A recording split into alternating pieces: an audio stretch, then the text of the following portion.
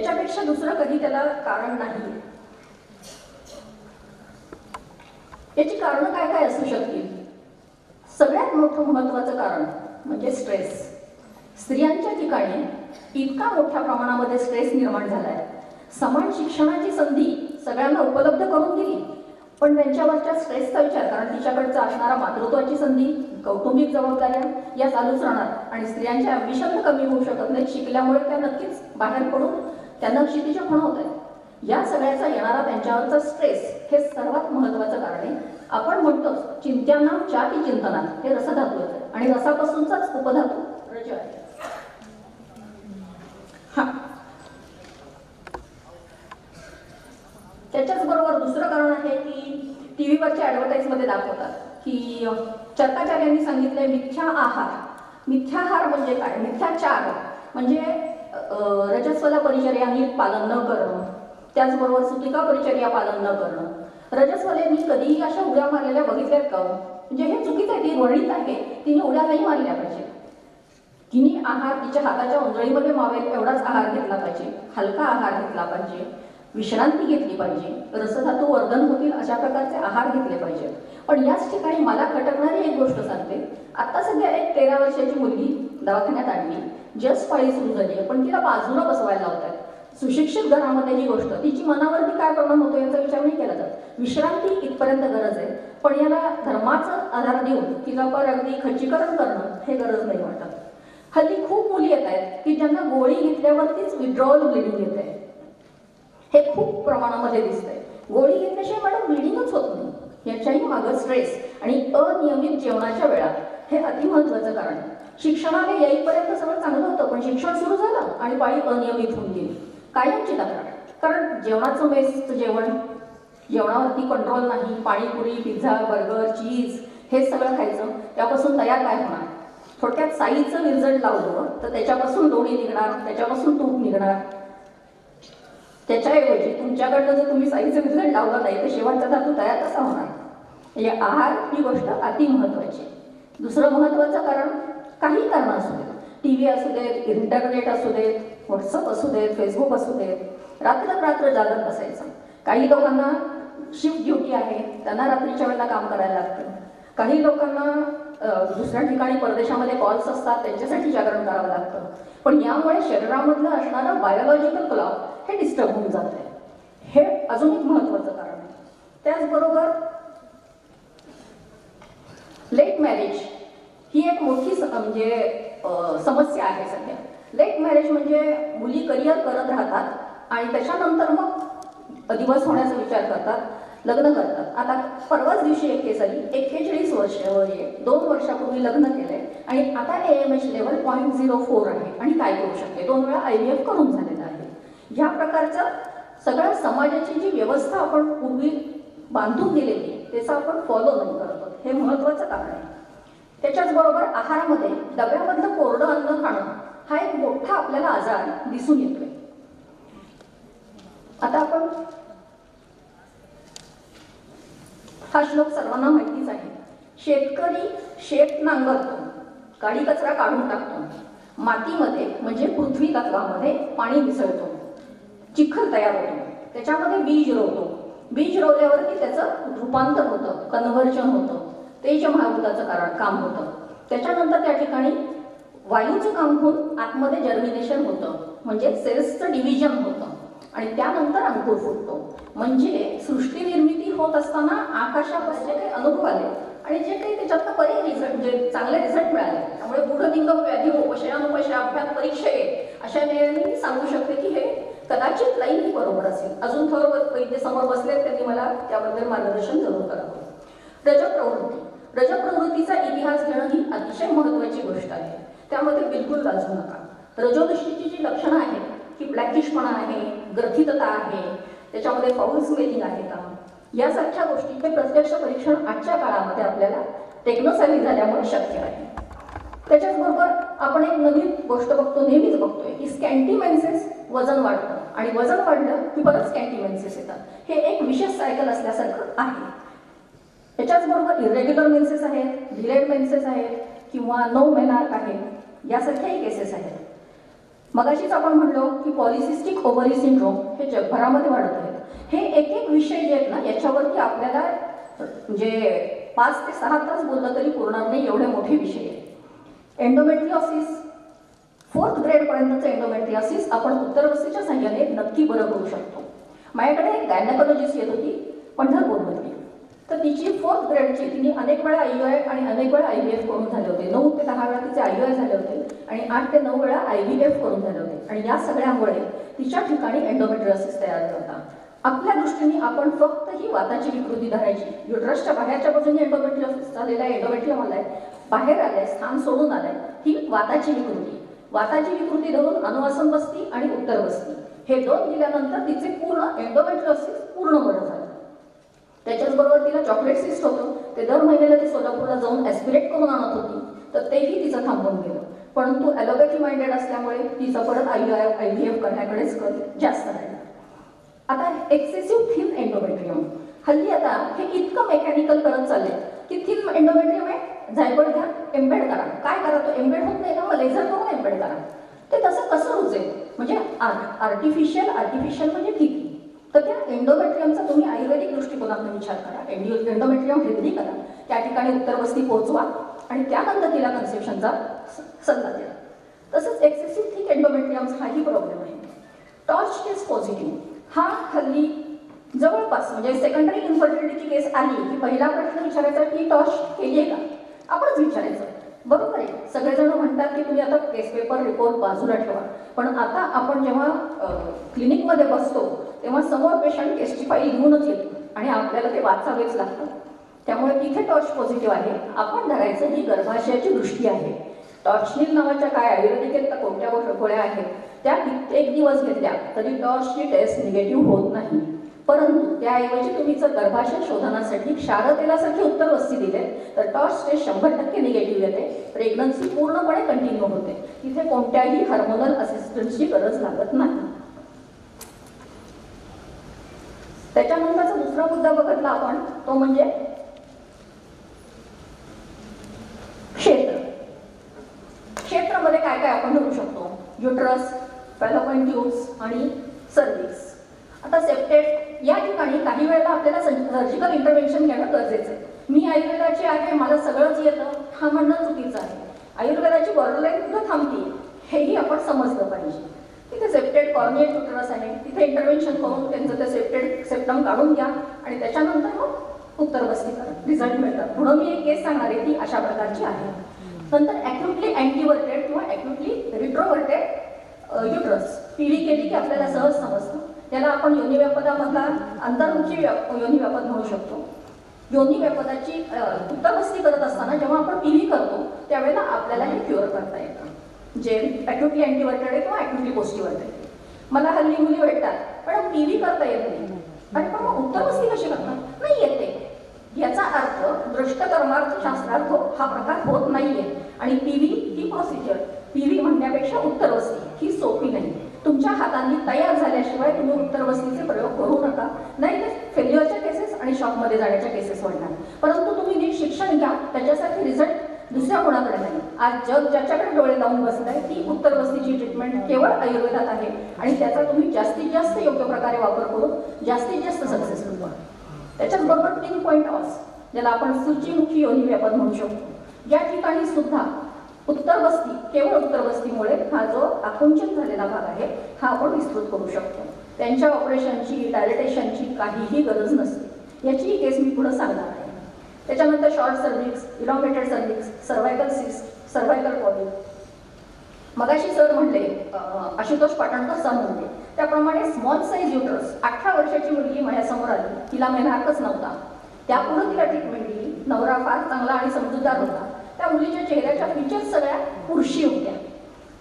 औषधं दिली त्यानंतर उत्तरवस्ती दिली शतावरी मृतासारखी उत्तरवस्ती दिली की ज्यांनी तिच्यातल्या स्त्री भाव निर्माण झाले. बावीसाव्या वर्षी ती मुलगी कन्सिव्ह होऊन तिला आज मुलगी आहे. हे आपल्या आयुर्वेदाचं यश आहे. याच्यानंतरचा भाग येतो तो म्हणजे क्षेत्र. क्षेत्रामध्येच ट्युबल ब्लॉकेज. ट्युबल ब्लॉकेजमध्ये आपल्या उत्तर वस्तीचा अतिशय चांगल्या प्रकाराने उपयोग होतो. ट्युबल ब्लॉकेजच्या खूप केसेस फक्त उत्तर उत्तरवस्तीच्या साह्याने सॉल्व्ह झालेल्या आहेत. आणि नशिबाने म्हणा किंवा अजून दुर्दैवाने ॲलोपॅथीमध्ये ट्युबोप्लास्टिक करतात. ती मायक्रो सर्जरी आहे पण ती सर्जरी करतात. त्याची जी मोठ भरून येते त्यावेळेला जी खपली धरली जाते थोडक्यात त्यांनी परत तो ट्यूब ब्लॉक होतो. म्हणजे महिन्यामध्येच तिला जर दिवस राहिले तरच ठीक आहे. पण हे ट्युबल ब्लॉकेज हे ट्युबेक्टॉमी करून आलेलं नसावं. तर मात्र मग आपल्याला रिझल्ट मला तरी अजून मिळालेला नाही पूर्वी मी अं, उत्तरवस्ती द्यावे लागेल आणि रिझल्ट मिळाले. या ठिकाणी त्यातल्या दोन जणी आयुर्वेदाच्याच डॉक्टर असल्यामुळे त्या म्हणल्या मॅडम आमच्यावर उपचार करा आम्ही तयार होतो नाहीतरी तिकडं काहीच उपचार नाही आणि त्यातली एक तिसरी पेशंटनी मला कॉन्फिडन्स आल्यामुळे मी केली. याच्याबरोबर ट्युबरक्युलर आहे म्हणून वसंत कल्पांचा वापर आपण करू शकतो. Excessive thin endometrium excessive thick endometrium त्याच्यानंतर एक पीआयडी आपण म्हणतो की आयटीस म्हणजे कोणत्याही प्रकारचं इन्फेक्शन असेल तर आपण उत्तरवस्ती द्यायचं नाही. असं एक प्रवाद आहे. परंतु आता ही पेल्विक इन्फेक्शन डिसीजची एक केस माझ्याकडे होती ती पण आयुर्वेदाची स्टुडंट होती. सोबत तिला तिला ट्युबरक्युलॉसिसची ट्रीटमेंट दिली. मगाशी जी म्हणली त्यातलीच एक घेतली. ट्युबरक्युलॉसिसच्या ट्रीटमेंट नंतर ती कन्सिव्ह झाली. कन्सिव्ह झाल्यावर तिला एक पहिलं अबॉर्शन झालं. तिचा दीर भाजलेला बघितला आणि तो मनाचा विभेदी हे लक्षणामुळे तिचं अबॉर्शन झालं. सेकंड टाइम ती कन्सिव्ह झाली. पूर्ण मासानुमासिकी चिकित्सा घेतली. तिला मुलगा झाला.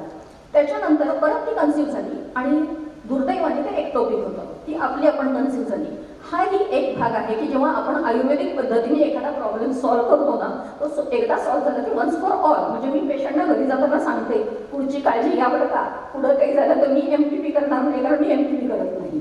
मी जीव देण्यासाठी जीवदान देण्यासाठी डॉक्टर झाले घेण्यासाठी नक्कीच नाही. हे सांगावं लागतं. म्हणजे हे जसं आय व्ही एफ केलं की तेवढ्याच तेवढे दिवस राहिले पुढे विषय संपला. तसं आपल्या शास्त्रामध्ये होत नाही.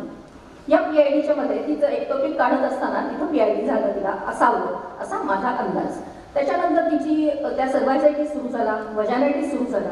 त्याच्यानंतर तिने भरपूर ट्रीटमेंट घेतली. तिची सख्खी बहीण एमडी गायनॅक असल्यामुळे तिने पण अँटीबायोटिक्स कॅन्डिड सारखी औषधं भरपूर वापरली. पण ते काही बरं होईना. मग ती परत माझ्याकडे आली. मी विचार केला की बाई हे सगळं अशा हिस्ट्रीमुळे हे सगळं झालं तिला आपण उत्तर वस्ती मी तिला गर्भाशय शोधनासाठी उत्तरवस्ती दिली. उत्तरवस्ती तिला सहचर तेलाचे दिले. त्या सहचर तेलाने तिचा सगळा त्रास थांबून गेला. म्हणजे पी आयमध्ये आपण उत्तरवस्ती वापरत नाही पण या ठिकाणी मी वापरून मला त्याचे रिझल्टही मिळाले. म्हणजे एक्सेप्शन सुद्धा आहेत यामुळे लॉ प्रूव्ह होतो. त्यानंतर सर्वायसायटिस आहे सर्वायकल इरोजन्स आहेत याच्यामध्ये मात्र मी योनी धावन योनी पिचू इथपर्यंतच सांगते. या ठिकाणी उत्तरवस्ती वापरत नाही. एड्समध्ये वापरले नाही. त्याच्यानंतर वजायनल पी एच मगाशी जो विषय झाला खूप एक्सेसिव्ह ॲसिडिक असली किंवा एक्सेसिव्ह अल्कलाईन असली तरी दिवस राहत नाही स्पर्म करून जातो. या ठिकाणी सुद्धा फक्त योनी धावन आणि योनी पिचुधारण याचा उपयोग होऊन जातो. एक्सेसिव्ह थिक हेमेंट याची एक पुढं केस मी प्रेझेंट करणार आहे. तर ते एक्सेसिव्ह थिक हेमेंट सुद्धा या ठिकाणी सुद्धा कोणत्याही प्रकारच्या ऑपरेशनशिवाय केवळ उत्तरवस्तीने हा विषय सुटतो. त्याच्यानंतर फायब्रॉइड्स फायब्रॉइड्समध्ये पण उत्तरवस्ती तिचे मेन्सेस दर बारा दिवसांनी येत होते. ती माझ्याकडे आली तेव्हा. तिची पहिली पाळी आली आणि त्याच्यानंतरची एकवीस दिवसांनी आली. साहजिकच तिची आई तिला डॉक्टरांकडे घेऊन गेली. डॉक्टरांना आयुर्वेदाचं नॉलेज नव्हतं. त्यांनी तिला ॲलोज कंपाऊंड आणि कुमारी असं दिलं. तिची पाळी अजून लवकर लवकर यायला लागली. घाबरून जाऊन त्यांनी तिला तीन महिने ओसी पिल्स खायला लागल्या विचार करा नऊ वर्षाच्या मुलीला हार्मोनल मला असं असं करून मला कॅलिफोर्नियाला जायचं आहे बाई म्हणलं मला शक्य नाही. तू काय आय आय कर आय व्ही एफ कर. मला डेडलाईन घालून मी काम नाही करू शकत. ती गेली. तिने I U I I V F सगळं ट्राय केलं. आणि पण आली कारण तिचं जायची वेळ आली तरी ती काही कन्सिव्ह झाली नव्हती. मग तिथे तुम्हाला सगळ्यांना माहिती आहे परदेशामध्ये ॲलोपॅथीची ट्रीटमेंट भयंकर महाग आहे. ओव्ह्युलेशन मॉनिटरिंग होणार कसं? त्यामुळे मग ती परत आली सहा महिन्याचं औषध घेऊन आपल्या रस रक्तधातूला धरूनच औषधं दिली. सहा महिन्यामध्ये कन्सिव्ह झाली. त्याच्यानंतर तिने स्टाईपवरनं वगैरे योगा निद्रा घेतली? आज तिचा मुलगा अतिशय ब्रिलियंट शार्प आहे. याच पेशंटच्या बाबतीत अजून एक गोष्ट सांगायची वाटते की हिच्या मुलाच्या वेळेला ट्रिपल टेस्ट केली. कन्सिव्ह होती त्यामुळे तिथे कंपल्सरी करतात. ती पॉझिटिव्ह आली. आणि त्याच्यानंतर आणि टेस्ट केली त्याच्या पुढची. ती निगेटिव्ह आली. त्यांच्याकडनं सही मागून घेतली. कारण तिथे मंगोल बेबी किंवा स्पास्टिक बेबी जन्माला घालणं हा एक मोठा गुन्हा आहे. त्यांचा घाबऱ्या घाबऱ्या फोन आला. की चार पाच वर्ष दिवस राहिलेले नव्हते. आणि आता राहिले आहेत. तर काय करू? ते म्हणलं बिंदास्तही करा. फक्त आयुर्वेदाच्या सह्याने खरोखर तोपर्यंत माझी बावीस वर्षाची प्रॅक्टिस होऊन गेलेली होती. मला नक्की माहिती होतं की हे स्पास्टिक होणं शक्य नाही. कारण आपण बीजशुद्धी दिली आहे आणि त्याच्यानंतरची औषधी दिली आहेत हा कॉन्फिडन्स सुद्धा प्रॅक्टिस केल्यानंतरच येतो. त्यांना सांगितलं बिंदास्तही करू द्या. आज तो मुलगा अतिशय ब्रिलियंट कॅटेगरी करून स्विमिंगमध्ये आहे आणि अनेक गोष्टींमध्ये तो पुढे गेलेला आहे. आणि अनेक मुलींना मी मगाशी म्हटलं तसं फक्त गोळ्या घेऊन विड्रॉल मिळून होतं. त्याच्यानंतरचा महत्त्वाचा भाग येतो तो बीज. बीजामध्ये ब्लायटेड ओघम नावाचा जो प्रकार आहे त्याच्यामुळे रिपीटेड एवर्शन्स वगैरे होतात. तर या ठिकाणी तुम्ही उत्तर बस्तीचा वापर केला तर तो अतिशय सुंदर उपयोग होऊ शकतो. Follicle size not increasing no formation of ovarian follicles at all याचा अर्थ काय? तर फॉलिकलचं साईज वाढत नाही आहे म्हणजे आर्तवाच्या ठिकाणी कुठंतरी विकृती इथे उत्तर बस्तीचा उपयोग होतो. नाही तर मात्र आय आय आय एफ केलेल्या मुलांमध्ये हे दिसतात. सध्या बंगलोरवरून एक पेशंट येते तिचं बाळ तीन वर्षाचं आहे. पण ते पूर्णपणे मेंटली रिटायर्ड आहे. आय व्ही एफ करून तिने तो चान्स घेतलेला आहे. आणि आता त्या बाळाचं काय करतात क्रोमोझोमल डिफॉर्मिटीज डिटेक्टेड आफ्टर कॅरियर टायपिंगचे जेव्हा काही क्रोमोझोमल डिफॉर्मिटीज आहेत ते पेशंट आपल्याकडे येतात. आणि मी तुम्हाला कॉन्फिडन्सनी सांगू शकते की यातले आजपर्यंत मी जे केले हे केसेस सक्सेसफुल झाले. असं नाही झालं की कॅरिओटायपिंगच्या केसेसमध्ये प्रॉब्लेम आहे. एक मुलगी होती तिची हॅबिच्युअल अबॉर्शन्स होती आणि त्याच्यामध्ये दोष होता. तिने पूर्ण पंचकर्म केलं वमन आणि ग्रेशन या दोन गोष्टी केल्या. त्यानंतर आपण उत्तरवस्ती आणि अनुवासन वस्ती केले. आणि त्याच्यानंतर तिला आज मुलगा आहे. कंजेनायटल अॅनॉमलीज एक जण होते. त्यांच्याकडे स्वतःला सूत्रसंचलनाची फार आवड होती. मुलाला टंकाय येऊन त्यांना स्वतःला टंकाय होता. आणि त्याचं ऑपरेशन करून मग त्यांच्या बोलण्यामध्ये थोडं त्यांनी सुधारणा केली. त्यांच्या स्पीचमध्ये थोडासा जडपणा होता. हा मुलामध्ये येऊ नाही अशी त्यांची इच्छा होती. आपण त्या दृष्टीने बीजशुद्धीसाठी औषधं दिली तर तो पुढे पर्पोरेट नाही झाला. आज त्यांचा मुलगा अतिशय उत्कृष्ट सातवीमध्ये आहे. उत्कृष्ट सूत्रसंचालन करतो तबला वाजवतो. ते अजूनही मला त्यांचे व्हिडिओ पाठवतात. या गोष्टी घडतात. तुम्ही कॉन्फिडन्सने या गोष्टी पुढे होऊन करा. अजून एक बीजदृष्टीच्या संदर्भातील विषय होता त्याच्यात युरेनियमच्या सान्निध्यात ती काम करत होती. युरेनियमचा इफेक्ट तिच्या गर्भावर होऊन तिला द्राक्षगर्भ झाला होता. तिला म्हटलं मी पी एच डी बाजूला ठेव आणि तुझं गर्भधारणा होते आणि त्याच्यानंतर तू परत तुझं काम सुरू कर. तेवढं केलं तो मुलगा व्यवस्थित झाला. आज तो सव्वीस वर्षाचा आहे पण त्याच्यानंतर तिने परत कन्सिव्ह केलं परत द्राक्षगर्भ झाला. म्हणजे हे फक्त आयुर्वेदिक औषधांचेच रिझल्ट आहेत. तिसरं सगळ्यात शेवटचा भाग सांगितलाय जो आपल्या शास्त्रामध्ये तो म्हणजे दैवमच्या तंत्र पंचमम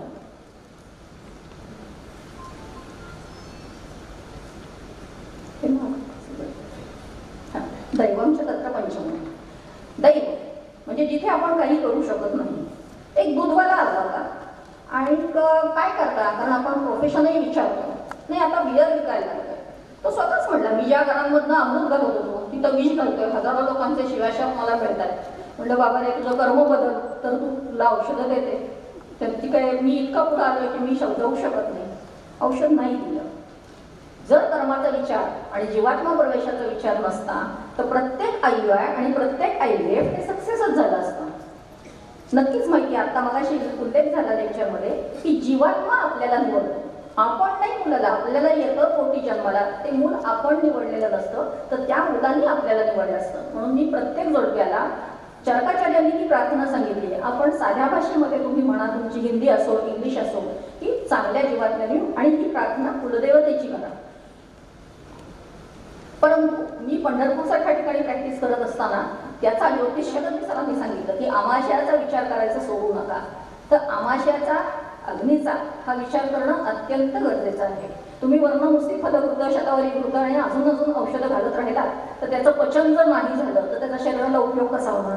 त्यामुळे अग्नीचा विचार हा पहिला रसापासून रक्त तयार होत असताना रज आणि स्तन हे दोन उपधातू सांगितले. आणि उपधातूंना अग्नी नाही. म्हणजे उपधातू जे आहेत त्यांना आशय आहे पण त्यांना अग्नी नाही. तर त्यामुळे आपल्याला औषध देताना रसधातूवर आणि रक्तधातूला धरूनच औषधं द्यावी लागतात जेव्हा आपण स्त्रीवंध्यत्वाचा विचार करतो. हे आपण फक्त स्त्रीवंध्यत्वाविषयीच बोलतो. संज्ञ याच्यामध्ये मी तुम्हाला सांगू शकते की प्रोलॅक्टिन लेवल ज्या मुलींची वाढलेली आहे. इन्फर्टिलिटीच्या केसेस येतात तेव्हा ती काय असतात? त्यांना कन्सिव्ह व्हायला त्या अँशियस असतात. त्यावेळेला प्रोलॅक्टिन लेवल वाढलेली असते. म्हणजे रजाकडे जाणारा भाग हा स्तन्याकडे जातोय. त्यावेळेला स्तन्यजनन होणार नाही आणि हार्मोन्सचा बॅलन्स होईल. यासाठी आपण शिरोधारासारखी ट्रीटमेंट दिली की समोर शांत झालं की तिच्या प्रोलॅक्टिनच्या लेवल्सही कमी येतात. इथे एक वेगळी केस मला बघायला मिळाली होती. दोघी बहिणी सख्या बहिणी होत्या. त्या सख्या जावा म्हणून घरात गेल्या. त्यातल्या एकीला दिवस राहिले. दुसरीला दिवस राहिले नाही अजूनही म्हणून ती माझ्याकडे आली तिला बाळ झालेलं पाहिलं आणि हिला पान्हा फुटला.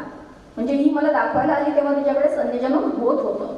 आता मानस भावांचा या स्तन्यजननाशी सिरम प्रोलॅक्टिनशी किती जवळचा संबंध आहे? म्हणजेच याच्या उलट सुद्धा आपण म्हणू शकतो की जेव्हा या सगळ्या औषधांनी हार्मोनल इम्बॅलन्सेस होतात तेव्हा तिच्या ठिकाणचे मानसभाव हे बिघडलेले असतात. त्यामुळे जसा उत्तरवस्तीचा उपयोग होतो तसा शिरोधराचाही यामध्ये उपयोग फार चांगल्या प्रकाराने दिसून येतो. प्रसव स्रोतसाचं मूलस्थान सांगितलंय हृदय. त्यामुळे ज्या बाईच्या ठिकाणी बाळाचं पोषण होत नाहीये किंवा गर्भाचं पोषण होत नाहीये त्यांना जर आपण नृत्य औषधं दिली तर त्याचा उपयोग फार चांगला होतो. मला हे चित्र नक्की नक्की माहिती आहे. पहिल्यांदा रजस्त्रावाविषयी बोलू. त्याला रजस बलादोलोपन होणारी औषधं दिली. तर त्याचा खूप चांगल्या प्रकारे उपयोग आपल्याला कष्टातवाच्या ट्रीटमेंटमध्ये होतो. त्याच्यानंतरची दुसरी ये- येते ती फॉलिक्युलर फेज गते फक्त मला जर असा प्रश्न विचारला की मॅडम फॉलिकल साईज वाढवत नाही व्हॉट्सअपवर रिपोर्ट पाठवला. त्याचं उत्तर देणं अवघड आहे. कारण तिचं बाकी सार्वजनिक परीक्षण करून आपल्या आयुर्वेदिक पद्धतीने त्याचं निदान करा आणि मग त्याची ट्रीटमेंट करायचं तर त्याचे रिझल्ट जास्त चांगले मिळतात. आणि त्याच्यानंतरचा भाग आहे तो तो म्हणजे प्रसाद रूप ज्या ठिकाणी गर्भधारणा झाल्यानंतर झायगोट एम्बेड होतो. हा कार्यक्रम पित्ताचा. या तीन गोष्टींमध्ये आहे. याच्याचमध्ये हा पित्ताचा काळ जो येतो याच्यामध्ये हे पित्त जर चुकीच्या दृष्टीने झालं असेल तर प्रीमेन्स्ट्रुअल टेन्शन सारखं. कित्येक बायका एका पेशाने मला सांगितलं होतं मॅडम मला द- बाई आली की मी केस सोडते आणि भिंतीवर डोकं आपटून घेते. हा प्रीमेन्स्ट्रुअल टेन्शनचा भाग. या ठिकाणी तुम्ही पित्ताचा वाढलेल्या पित्ताचाच विचार केला पाहिजे. लाईफस्टाईल लुरिंग मेन्सेस आपल्याला सगळ्यांनाच माहिती आहे. आपण मगाशी त्याच्याबद्दल बोललो पण की तिच्या अग्नीला धरून तिने आहार घेतला. पाहिजे आहार तिला सहज पचेल अशा प्रकारचा पाहिजे. त्याच्यानंतर रेस्ट घेतली पाहिजे. Maintain peace of body and mind त्या काळामध्ये परीक्षा कोणत्या कॉम्पिटिशन्स या शक्यतो नसाव्या त्याच्यानंतर मग प्लेझंट सॉंग्स किंवा या सारख्या गोष्टी तिने कराव्यात. आता ॲक्च्युअल वंध्यत्वाचा विचार करत असताना आपण फक्त एकच भाषण धरली आणि म्हणून एकत्रित आपल्याला उपयोग होतो.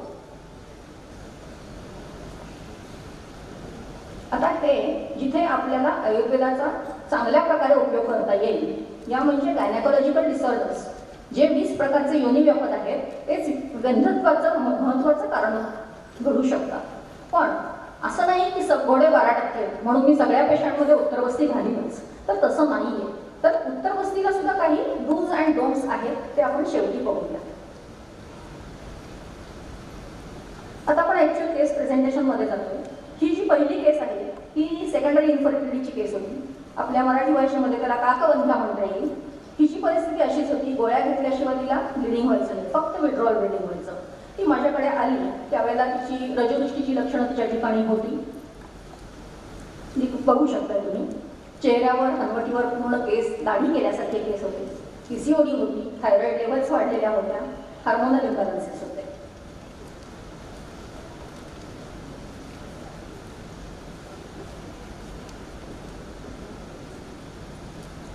तिच्या रजप्रवृत्तीचा इतिहास घेतल्यानंतर हे सगळं समजलं की हिच्या ठिकाणी हार्मोनल इम्बॅलन्सेस आहेत या ठिकाणी आपण हिला फक्त अ, उत्तर बस्ती आणि शिरोधना या ट्रीटमेंट दिल्या त्याच्यानंतर तिला पहिले तीन महिने पाळी आली नाही या पेशंटना मी पूर्णपणे काउन्सिलिंग करते की तुम्हाला पाळी येणार नाहीये. कारण आजपर्यंत शरीराला रॉंग सिग्नल्स जायची सर सवय लागली थोडं मला ॲलोपॅथीच्या भाषेत बोलावं लागेल. तुमच्या पिट्युटरी ग्लँडला चुकीचे सिग्नल्स देण्याची सवय लागली कारण हे आयुर्वेदाच्या वेळामध्ये आपण हार्मोनल वापर करत नव्हतो. हे सिग्नल्स जेव्हा चुकीचे जातात तेव्हा थोडक्यात ती पिट्युटरी ग्लँड गणते तिला समजत नाही मी काय ऑर्डर्स फॉलो करतो तिला तिचं काम डाऊन होणं हे गरजेचं आहे. त्या ठिकाणी तुम्ही तिला शिरोधारा द्या. त्याच्यानंतर तिचं त्या पिट्युटरी ग्लँडला थोडी रेस्ट घेऊ द्या. आणि त्याच्यानंतर तिचे सिग्नल्स ती स्वतः द्यायला लागेल. म्हणजे शरीर तिच्या नैसर्गिक चक्राकडे यायला सुरुवात होते. तीन महिने शिरोधारा आणि उत्तरबस्ती दिल्यानंतर चौथ्या महिन्यामध्ये पहिला महिना मी तिला रजप्रवर्तनी वाटी दिलेली नव्हती. कारण प्रवर्तन नुसतंच प्रवर्तन म्हणून उपयोग नाही तर तिथं निर्मिती पण झाली पाहिजे. त्याला थोडा वेळ दिला पाहिजे. दुसऱ्या महिन्यापासून रजप्रवर्तनी चालू केली. रजप्रवर्तन आलं नाही. तिसऱ्या महिना झाल्यानंतर ती अँशियस झाली की मॅडम अजून कशी नाही आली? म्हणजे जा प्रिय तू सोनोग्राफी करून ये पण तू त्यावेळेला तिचं पी सी पीसीओडी हे गेलेलं होतं. हे तुम्ही इथं बघू शकताय. की पी सी ओडी तिचं होतं हे पुढं पी सी ओडी तिचं गेलं. P S H thyroid level तिच्या हाय होत्या. त्याच्यानंतर ट्रीटमेंट घेतल्यानंतर तिची हां तिची एम एच लेवल सहा होती. तिच्या ठिकाणी त्यांनी पिकअप करून तीन वेळेला आय व्ही एफ करून झालेलं होतं. आणि त्याचमुळे तिच्यामध्ये हे हार्मोनल इम्बॅलन्सेस तयार झालेले होते. ती स्टिक लॅप्रोस्कोपी करून ते काढून घेतले होते त्याच्यानंतर तिची जेव्हा आपण सोनोग्राफी केली हे फर्स्ट आय व्ही एफ आहे सेकंड आय व्ही एफ आणि हे थर्ड आय व्ही एफ तिन्ही तिची फेल्युअर गेली इथून पुढे आपण आयुर्वेदिक उपचाराला सुरुवात केली. इथं पाच मार्चपासून आपण सुरुवात केली. मला म्हटलं मी त्याप्रमाणे उत्तर वस्ती आणि शिरोधारा आपण तिला चालू केलं. हे पाच एप्रिलची गोष्ट आहे. हे पाच मेचं. दिसतंय ना तुम्हाला सगळ्यांना? आणि इथं रजप्रवर्ती इथं दिली. पी सी ओडी इथे प्युअर झालेलं आहे. त्याच्यानंतर काळपटपणा कमी. मला आर्तवाची माहिती कशी कळते? तर आर्त आर्तवाचं हे म- कळण्याचं रजांचं स्वरूपाचं वर्णन करायचं. आणि म्हणजे तिच्याकडनं विचारून घ्यायचं आणि फोटो बघायचा. आर्तवामधली तिची जेव्हा दृष्टी कमी झाली आहे त्याच्यानंतर तिला स्वतःची स्वतः रजप्रवृत्ती आर प्रवर- म्हणजे रजप्रवृत्ती आली.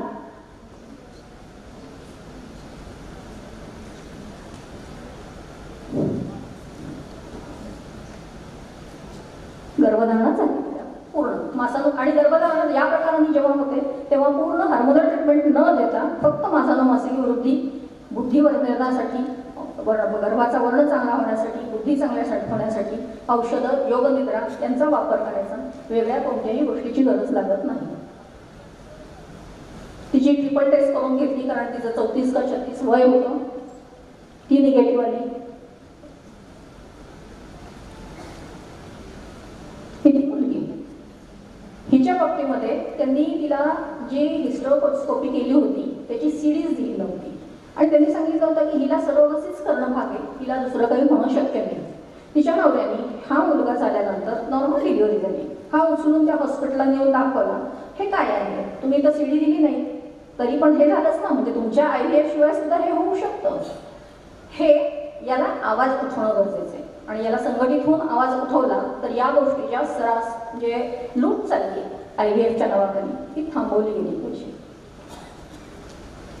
ही दुसरी पेशंट आहे.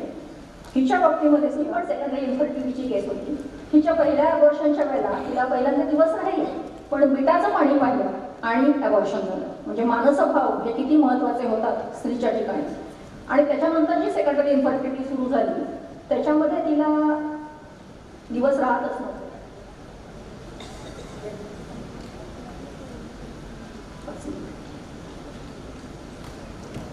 म्हणजे रजदृष्टीची लक्षणं हिच्या ठिकाणी दिसत आहेत. तिच्या ठिकाणी आगमान होतं मलप्रवृत्ती साफ नव्हती त्वचेमधनं कोंडा निघत होतो वृक्षता होती. म्हणजे तिच्या भावाला सोरियासिस होता तिच्या ठिकाणी सोरियासिसची सुरुवात होती. मी तुम्हाला म्हटलं की रस आणि रक्त धातूचाच आपल्याला विचार करावा लागतो. या धातूंना धरूनच तिला ट्रीटमेंट दिली. आम्लपित्ताचा त्रास होता सतत चिंता करण्याचा स्वभाव होता. विभेदी हे लक्षण होतं. चिंत्यानाम चाती चिंतानाम रसधातू बिघडण्याचं कारण आपल्याला दिसून येत होतं.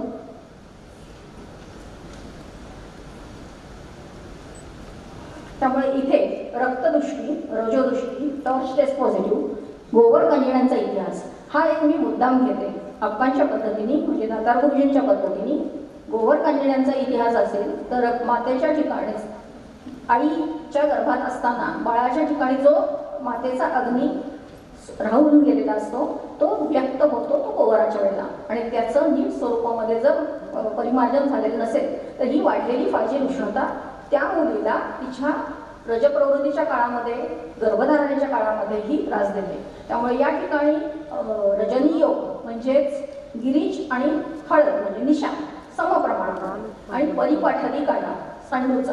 हा अपानकारी घेणं गरजेचं आहे. या ठिकाणी प्रोलॅक्टिन लेवल हिची वाढलेली होती ट्युबल ब्लॉक होते तिचा आपण हिस्टर सर्पिंगोग्राफीचा रिपोर्ट काढला होता. तिचं आय केलं ते फेल झालं प्रोलॅक्टिन लेवल वाढलेली होती.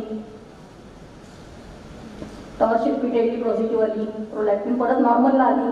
म्हणजे ह्या लेवल्स आपण आपल्या मनाच्या समाधानासाठी म्हणजे पेशंटच्या मनाच्या समाधानासाठी बघायच्या. आणि जर आपल्याला बाकीच्यांना एव्हिडन्स बेस आयुर्वेदमध्ये दाखवायची गरज आली तर म्हणून आपल्याकडे एव्हिडन्सेस असावेत म्हणून हे ठेवून घेण्याची गरज आहे. आपल्या शास्त्राला याची गरज नाही कारण बाळ झालं की पेशंट खुश होतो. ते तिच्या ठिकाणी केलेलं इथे आयुर्वेदिक उपचाराला सुरुवात केली. या प्रकाराने विचार केले. त्याच्यानंतर गर्भधारणा झाली नॉर्मल डिलिव्हरी झाली. तिला सोळा वर्षानंतर ही डिलिव्हरी झाली. त्याच्यानंतरची केस आता सध्या चालू आहे. आत्ताच तिचा तिसरा रिपोर्ट आला माझ्याकडे. हिची परिस्थिती अशी होती की हिला लग्नानंतर पहिलं कन्सेप्शन झालं त्यांनी एम टी पिल्स घेऊन ते केलं. त्याच्यानंतरचं दुसरं कन्सेप्शन जे झालं त्याच्यामध्ये फिटल कार्डियक ऍक्टिव्हिटी वीक होती. ते अबॉर्शन झालं. पण त्या काळामध्ये पेशंट त्यांना डॉक्टरांनी इतक्या हार्मोनल देऊन ते थांबवायचा प्रयत्न केला.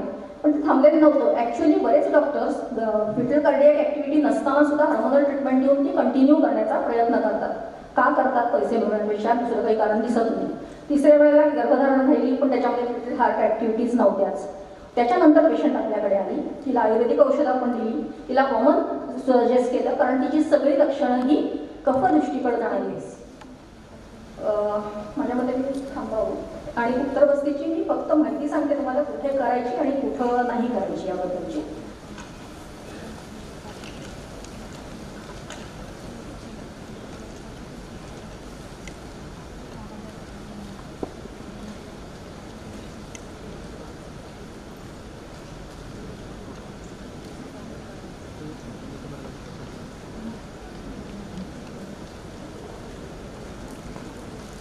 मी माझ्या दवाखान्यामध्ये उत्तर बस्ती देण्या पाळीच्या पाचव्या दिवशीपासून देते. काही पेशंटमध्ये निरुह बस्ती सजेस्ट करते काही पेशंटमध्ये निरुभ देत नाही. गर्भाशय शोधनाची गरज असेल आणि कॉन्स्टिपेशनची हिस्ट्री असेल तर निरोह बस्ती देऊन मग उत्तर बस्तीला सुरुवात करते. उत्तर बस्ती देण्यासाठी पी करता येणं गरजेचं आहे. आय आय कॅन्युला वापरते. त्याचा साधारणपणे तुम्ही कितपर्यंत आतपर्यंत घालायचा त्याला मार्किंग असतं. ते बघून तुम्ही हात स्थिर ठेवून त्यातमध्ये घातलं. आणि तीन ते पाच एम पर्यंतचं तेल आतमध्ये घालू शकता. ऑटोक्लेव करणं हे अत्यंत गरजेचं आहे. तेल हे गरम करायचं नाही. ऑटोक्लेव करायचं बाटलीमध्ये घालून ते गार करायचं. सगळ्या गोष्टी या तुम्ही ऑटोक्लेव करून घेणं गरजेचं आहे. तुमचा स्पेक्युलम कॅथेटर कॅथेटर तर तुमचा हे मिळतोच हल्ली डिस्पोजेबलमध्ये ते तुम्ही वापरू शकता. या गोष्टींमध्ये आपण उत्तरवस्ती करू शकतो. पाचव्या दिवशीपासून नवव्या दिवशीपर्यंत. म्हणजे स्त्रीबीजाची निर्मिती होण्यासाठी त्याचा चांगला उपयोग होतो. आणि करत कशात नाही तर वर्जिन्समध्ये करत नाही. एक डॉक्टर मला भेटले होते. मॅडम आय व्ही आय एका साईडनी करू. माझ्या एथिक्समध्ये बसत नाही. मी करत नाही. VDRL H I V positive आहे. करत नाही. युटराईन प्रोलॅक्समध्ये तिथे तुम्ही पिचू बसवणं गरजेचं आहे. तिथे तुम्ही चिचुंदरी सिद्ध तेलाचा पिचू बसवतात पण तो प्रोलॅक्स तुम्ही बघून घ्या किती लांबपर्यंतचा आहे. आणि त्यानंतर करा. आणि जिथं प्रेग्नन्सीचीच असतं म्हणजे शंक शंका वाटते त्या ठिकाणी उत्तर बसते करू नका हे काही मुलांचे फोटो माझा जॉब सॅटिस्फॅक्शन थँक्यू संयोजकांनी मला इथे बोलण्याची परवानगी संधी आय व्ही एफ सेंटर्स जशी सगळीकडे चालतात त्याप्रमाणे आयुर्वेदाची सेंटर्स वंध्यत्वासाठी सगळीकडे चालावी आणि मला तसं ऐकायला यावं अशी माझी इच्छा आहे.